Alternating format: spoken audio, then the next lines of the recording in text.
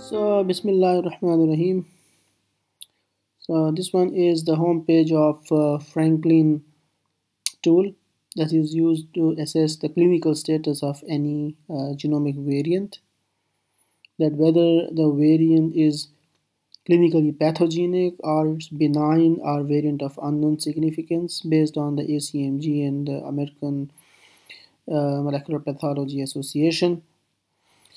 So um, this one is the query box. You can uh, uh, put your variant detail here in the query box, but before that, here are certain parameters that you can set before adding, before putting any variant. So for example, if you want your variant to be annotated according to the new assembly HG38 then you can switch it here or maybe you can leave it at G19 if your variant belongs to uh, a germline then you can select the germline or for example if your variant belongs to certain somatic conditions or for example the cancer tumor then you can switch it and you can set the parameter somatic for example so uh, there are different formats of, uh, putting the variant in this query box.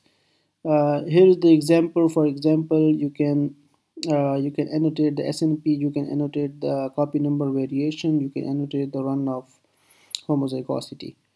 So the format that you can uh, put in this query box for the clinical assessments are given just here. For example, you can you can annotate in this way this one is the gene name then c dot means the mRNA variant annotation uh, this one is the substitution the deletion insertion. This one is the genomic coordinate. This one is the messenger RNA mRNA coordinate cDNA coordinate. You can uh, uh, use the format by using the genomic coordinate.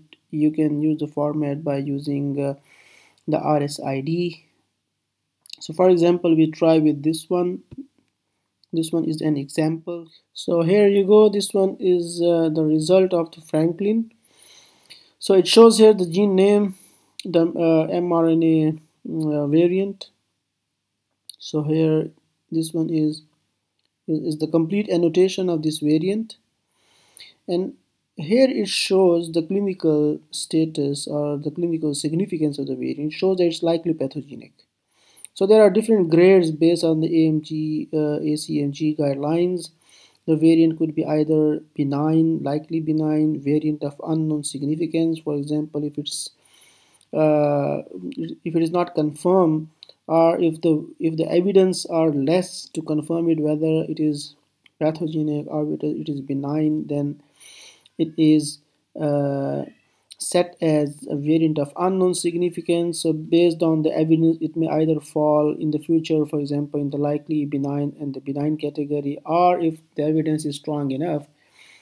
If the evidence comes in the future strong enough then it may fall into the likely pathogenic or the pathogenic category.